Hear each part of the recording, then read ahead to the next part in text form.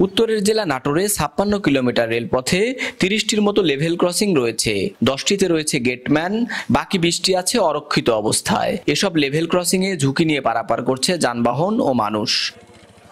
স্থানীয়রা জানান রাতের ট্রেনের আলো দেখে ও দিনে শব্দ শুনেই পারাপার হতে হয়। যানবাহন এবং পথচারীদের চলাচল করতে গিয়ে প্রায় দুর্ঘটনার শিকার হতে হয়। আমরা খুব ঝুঁকিপূর্ণভাবে চলাচল করতেছি এখানে। এখানে গেট আছে এবং গেটের সব কার্যক্রম আছে কিন্তু গেটম্যান নাই। দুই তিনবার এরকম গাড়ি এখানে অ্যাক্সিডেন্ট করছে।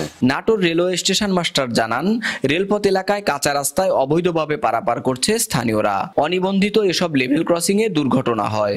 আমাদের যেগুলো অনুমোদিত গেট ছিল ইতিপূর্বে আমরা এটা ডিটেক্ট করে নিয়ে এখন আস্তে আস্তে অনেকগুলো বন্ধ করে দেওয়া হয়েছে। এগুলো পর্যায়ক্রমে আমরা সবই চেষ্টা করব যাতে বন্ধ হয়ে যায়। যেসব স্থানে অবৈধ গেট আছে সেখানে লোকবল নিয়োগ এবং যেখানে গেট নেই সেখানে দুর্ঘটনা রোধে গেটম্যান নিয়োগ করা হবে বলে জানালেন স্থানীয় সংসদ সদস্য। যে সমস্ত জায়গায় গেটের বিশেষ করে যে গেট নামানো হয় যাতে গাড়ি চলাচল রেল স্টেশন মানে রেলের উপর দিয়ে গাড়ি চলাচল করতে না পারে সেই সমস্ত জায়গায় আমরা ইতিমধ্যে সিদ্ধান্ত গ্রহণ করেছি যে সেই সমস্ত জায়গায় গেট নির্মাণ করা হবে এবং ওখানে আমাদের লোকবল নিয়োগ করা হবে। সবাইকে সতর্ক হয়ে রেলপথ পারাপারের পরামর্শ দিলেন তিনি। ইসাহাক আলী, বৈশাখী সংবাদ, নাটোর।